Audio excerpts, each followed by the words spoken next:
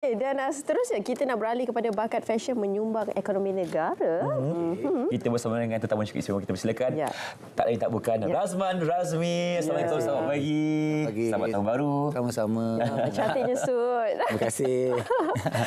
Okey, jadi sebagai permulaannya lah kita fahamkan dah 23 tahun ya berada dalam industri ini kan. Jadi mungkin sebagai permulaannya boleh kongsi pengalaman sepanjang 23 tahun. Silakan. Okey, Ya. pengalaman tu banyak. Aha. Antaranya mu- permulaan kita mencuburi bidang ni memang ada kita nak perkenalkan diri brand kita apa Ya, semua kan. Jadi bukan mudah. Jadi perlahan-lahan kita membuat membina nama tu sampailah ke tahap ini. Ah, Ya. Suka duka apa semua. Adalah cerita dia Adalah banyak. cerita dia. Tapi kalau nak kongsikan Ya. bagaimana Razman Razmi boleh berkolaborasi bersama ni. Titik permulaannya di mana? Ya. Okey, pada mula dia uh dia bekerja sebagai uh, banker. Okey, Ah, wow. Saya sendiri bekerja di Petronas Performing Art. Okey. Ah, selalu kita travel. imbau kembali pada du- tahun 2000 eh 2021 uh, mula kita nak bergabung. Hmm, wow. Ah, daripada situ ah, kita berkawan, berkawan dulu. Lepas tu bila saya dah ah, berhenti daripada Petronas, Mhm. saya berfikir saya ah, pengalaman yang saya dah ada sebab mak bapak saya memang kita buat baju daripada Oh. dulu. Lepas tu saya kata saya nak cubalah sambung legasi tu. Wow. Lepas tu saya pun tanya dia, "Eh, minat tak nak buat bisnes apa semua?" Dia kata, "Okey, minat tapi saya jalan dulu. Kita Okey. kita dia masih bekerja, saya jalan dulu. Ha-ha. Lepas tu baru ah, dalam setahun lebih yang macam tu dah. Baru saya fully retire. Baru saya fokus betul-betul fashion lah. Ya. Ah. Macam mana boleh minat fashion sebab kalau Tok Razman memang dah minat fashion, uh, minat fashion kan? Ya. Tapi kalau minat Saya datang daripada suka bergaya. Suka Okey. melihat melihat melihat orang bergaya tu ada tak kena se- setiap individu tu kan macam mana saya nak cantikkan setiap individu tu untuk ke- berketampilan lebih lebih menarik kan. Hmm, jadi itulah titik permulaannya. Ya, Betul. Pergi kelas, pergi belajar ya. Dan di situlah timbul uh, orang kata semangat uh, nak berjaya. Tapi untuk berjaya 23 tahun dalam industri ni bukan sesuatu yang mudah untuk penjenamaan kami ya sebagai Ya. Razma Razmi itu uh, bukan satu yang orang kata adalah kesusahan yang kita lalui hari ke hari tapi, kita Tapi masih pokok belajar. dia, Pokok kita dia. kena belajar. Ah. Tips dia belajar dan belajar. Tambah Sampai ilmu. Tambah ilmu. sentiasa Betul. menambah Sentiasa. ilmu kan. Walaupun tak kira kita baru ke lama ke, belajar uh, proses tu mesti kena kena ada. Diteruskan. Ya, diteruskan. 23 tahun bukan satu tempoh yang singkat dia. Banyak pengalaman yang telah dilalui sebelum ini dan Ya. nama Razman Ramli dah gah. Kita dah kenal pasal fashion Amin. dalam dan luar negara. Ya, kan? betul. Dan bercakap berkenaan dengan itu, kita nak berkongsikan tentang bagaimana fashion ini sebenarnya dapat memacu ekonomi negara dan juga pereka-pereka fashion di Malaysia ini. Jadi, bagaimana sebenarnya untuk pereka-pereka fashion ini memulakan titik mereka dalam industri dan mendapat memajukan diri dari segi uh, bidang ekonomi ini. Ya. Okey, pertama sekali Okey. uh, kalau menjana pendapatan negara eh. Okey, kita sebagai Perika Fashion kita telah uh, banyak mengeluarkan produk-produk dengan cara tak langsung kita mem- membuka peluang pekerjaan kepada uh, anak muda uh, untuk belajar uh, yang belajar fashion apa semua bekerja dengan kita dan seterusnya uh, menjana pendapatan mereka. Aha. Yang keduanya kita uh, Perika Fashion juga menyumbang kepada tax ya. Hmm. Uh, itu dan seterusnya kita dapat mengetengahkan hmm. kita punya uh, budaya hmm. iaitu kita ketengahkan uh, fabric kita, Ya. songket, batik, kain tenun dan sebagainya. Hmm. Uh, itu saya rasa sumbangan kita besar juga kepada negara. Betul, setuju. betul. Ya. Selain daripada itu, nama Malaysia juga dibawa ke peringkat uh, antarabangsa. Yes, ya. betul. Uh, turut juga menghasilkan baju-baju untuk nama-nama besar. di luar Betul. Kan? Jadi saya kira itu merupakan satu pencapaian yang cukup besar lah. Kan? Amin. Jadi mungkin boleh kongsikan uh, kenangan indah tersebut. Okey. ya. Kenangan indah saya eh, Aha. dalam semua dalam 23 tahun saya pembawi- pembawitan dalam uh, rekaan baju. Paling saya rasa terharulah baju Okey. kita di, di, dipakai di pusat di Red Carpet Oscar pada 2017. 2017. Ha, saya ketengahkan betul-betul tak sedur tapi berelemenkan tenun songket. Ha, dia bukan salah seorang uh, Selebriti. selebriti uh, pelawak untuk uh, Red Carpet Oscar 2017 di Los Angeles. Wow, jauh ya. Ya. Oh, jauh. Dah nama Razman Ramli dah berada di Oscar. Betul. Satu dunia dah nampak. Ya, dahsyatnya. Dan Nama kita juga pula. selain itu uh, artis-artis Indonesia ya alhamdulillah Betul. dan juga dapat lihat hari ini Cik Iqbal kita memakai suit uh, merah Ya. daripada Razman Razmi uh-huh. Cik Iqbal selalu support Razman Razmi ya kita selalu support local produk apa juga produk kita kita, kita perlu support Ya baru kita akan terus Cara berjaya. tak langsung menjana pendapatan negara. Ya, betul. Tidak Ah, langsung, kan? setuju, setuju sangat kan. Okey, dan bercakap mengenai kenangan indah pastinya juga akan berada cabaran-cabaran ya kan. Jadi sepanjang 23 tahun ini mungkin boleh kongsikan apa di antara cabaran yang paling diingati dan bagaimana cara mengatasi cabaran tersebut. Cabarannya yang paling sepanjang pengalaman tu Ya. yang paling terasa sekali masa PKP. Oh, ya Allah. PKP dua tahun, lebih kata dua tahun lima dua tahun setengah lah kita nak um, bangkit balik daripada PKP daripada uh, ekonomi kita yang drop semua tu memang agak struggle jugalah. Betul. Jadi saya menyeru kepada masyarakat semua untuk menyokong local product Ya. untuk membangunkan kita punya pendapatan. Betul. So, Siapa lagi kita- kalau bukan kita kan? Ya betul. Sekiranya kita ada kuasa membeli dan nanti uh, ekonomi kita akan bertambah baik. Negara kita akan maju.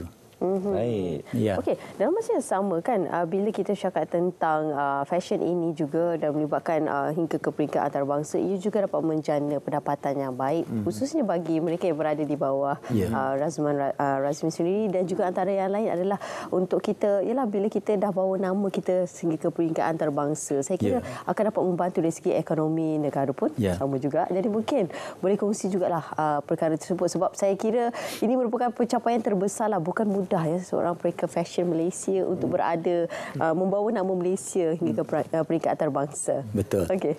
Razman. Okey.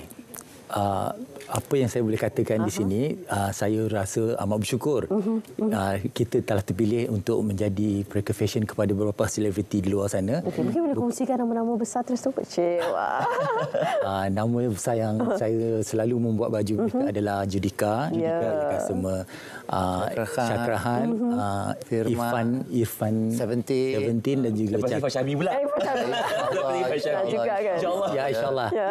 Uh, Cakrahan dan uh, sekali-sekala uh, Bunda Heti Kos Endang. Wow. Okey itu di antara nama-nama yang besar di Indonesia. di ya. Indonesia. Uh, kan kalau kita nak bercakap berkaitan dengan uh, bagaimana legasi peringkat fashion ini akan teruskan, mungkin boleh kongsikan bagaimana anak-anak muda ketika ini dapat uh, orang kata apa menunjukkan minat mereka dalam bidang fashion sekaligus menjana pendapatan. Ya. Okey. Razmin. Ya. Uh, untuk kita menjadi pendapatan kepada anak-anak muda generasi yang akan datang Ya. yang anak- anak-anak anak muda kita panggil sekarang ni macam BBNU lah. Ya. Kita katakan, Ya, betul, betul. So mereka perlu ada minat, semangat. Kadang-kadang untuk buat suatu penjenamaan tu bisnes apapun kita buat bisnes, tapi kita kena ada orang kata kesabaran tu penting. Ha, bukan sekadar kita buat uh, setahun dua tahun lepas tu kita hilang. Ya. Kan? Di- Ada ujian terus give out. kan? Ah, Ujian ujian, terus tu juga. akan datang. Kalau kita kata nak macam kita nak plan nak datang ke SPM pagi ni. Jam. Tapi kita keluar lah awal. Betul. Ada persediaan. Plan A, Persediaan. plan B, plan C. Apa kita akan buat. Ha, itu penting dalam dalam bisnes. Apa juga kita buat. Itu sangat penting. Dari situ lah kita ada disiplin. Ya. Ha, kita boleh menjana pendapatan kita. Boleh membantu orang sekeliling kita. Untuk membawa mereka naik sekali bersama dengan kita. Baik. InsyaAllah. Dan lagi satu saya kira kan yang paling penting untuk anak muda BBNU ni untuk uh, menengahkan bakat mereka adalah dari segi disiplin kan. Betul. Ya, betul. Disiplin sangat-sangat Ya. penting. Mungkin boleh kongsikan Tuan Razman. Okey, macam saya sendiri walaupun kita dah lama dalam bidang ni, saya masih lagi pergi kelas. Macam Wow. let's say kata ada talk show, talk kelas dengan uh, Pak Nil ke macam uh, Datuk Aznil ke semua, saya akan pergi belajar sebab apa kita kena menghormati masa. Kita kena menghormati masa orang lain. Betul. So um, kalau kita dah terlambat macam kita lambat nanti attend satu-satu benda daripada situ operasi orang akan tu- bertukar. Betul. Okey, dia ni selalu datang lambat. Ya. Boleh ke deliver baju aku nanti apa semua kan. Jadi saya kena jaga benda tu. Saya uh, selalunya saya akan kalau ada temu janji saya akan datang awal 15 minit sebelum. Hmm, wah, jadi perlu eh. Ya. Itu antara perkara yang perlu untuk kita lakukan. Kena. Perlu kita jaga kan Jaga. disiplin lah antaranya kan. Disiplin. Uh, ketepatan waktu pun perlu juga Kena. kan. Selalu lambat on the way baru gerak ada rupanya. uh, benda dengan um, kata sama manusia dengan artis-artis yang antarabangsa mereka sangat punctuality menjaga Ya. timing tu sangat-sangat sangat-sangat penting bagi mereka. Macam live ar- live uh, pagi ni SPM kan. Kalau dia tak akan tunggu kita. Betul. kita akan start sharp 8 8 Yes. juga kan. Baik, dan dalam 23 Ya. tahun ini kan uh, selain daripada kita menjadi pendapatan ekonomi negara, Ya. pastinya kita nak berikan balik kepada masyarakat, giving back to society kan. Betul. Jadi apa di antara uh, perkara yang dilakukan oleh uh, Razman Razmi sendiri? Ya.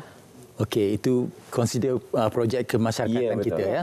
Okey, kita ingin uh, selepas ini kita memang ada perancangan nak membuat uh, satu uh, sumbangan lah. Saya sendiri sekarang bila pendapatan kita ada dan berlebihan sedikit, kita akan bantu golongan lain. Saya juga menjaga OKU seramai 125 orang. Wow. Ya, NGO Perjati. Jadi da- daripada situ uh, pendapatan yang kita ada kita akan berkongsi dan saya juga akan memanggil uh, kawan-kawan lain seperti founder-founder ke siapa yang nak membantu bolehlah datang ke center kita uh, di Perjati uh, sumbangan Wah, alhamdulillah. Di di mana tu? uh, di uh, Setapak Orang Semaju. Oh, Semaju. Kita pernah ke sini ke SPM juga Ya. uh, tahun lepas membawa um, ketengahkan isu uh, designer yang ada uh, menjaga uh, kata uh, persatuan OKU iaitu NGO lah sendiri. Ya, Ah. NGO. Ya, jadi itu antara inisiatif yang baik eh. Ya, Yang mana untuk betul. kita menjana pendapatan ekonomi dalam masa yang sama kita menjaga juga masyarakat yang memerlukan. Ya betul. Betul. Uh, Okey, baik. Okey, Sebelum ya. ke uh, hari ini topik kita pada pagi ini, kan kita boleh kongsikan bagaimana anak-anak muda ini uh, lagi sekali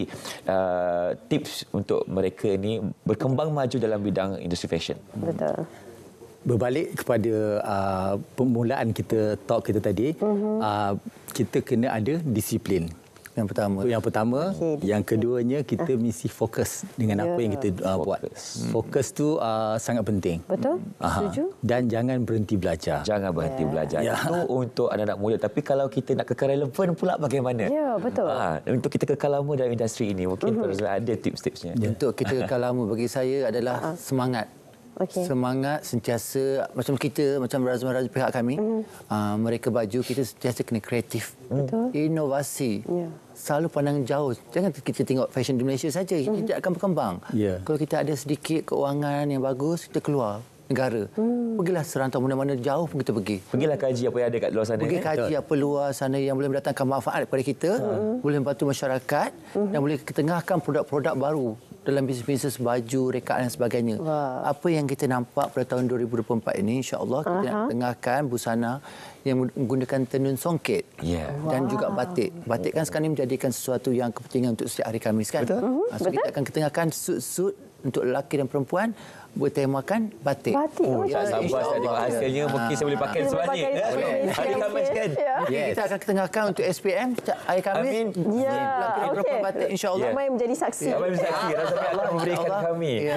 batik. Eh. Ya, okey baik. Terima kasih kita ucapkan kepada Razwan dan juga Razmi di atas perkongsian tersebut eh boleh menjadi contoh dan juga inspirasi khususnya bagi mereka yang berada dalam industri ini BBNU Ya, yang betul. ingin berjaya seperti kalian berdua Okay, insyaallah. pihak kami Razman Razmi ingin mengucapkan terima kasih kepada host berdua. Terima kasih. Ya, InsyaAllah dari produksi SPM yang tidak jemu memanggil kami. Dan tahniah RTM untuk 2024 terus sukses 60 tahun anniversary insyaAllah. Kita berjumpa lagi. Ya, Terima kasih Razwan. Razmi. Terus berkembang maju. Dan seterusnya penonton kita nak berhenti berehat seketika. Eh. Teruskan bersama kami dalam Selamat Pagi Malaysia selepas ini. Ini Bob. Bob adalah seorang penyelam marin. Setiap hari, Bob mendapati semakin banyak plastik dihanyutkan ke dalam laut.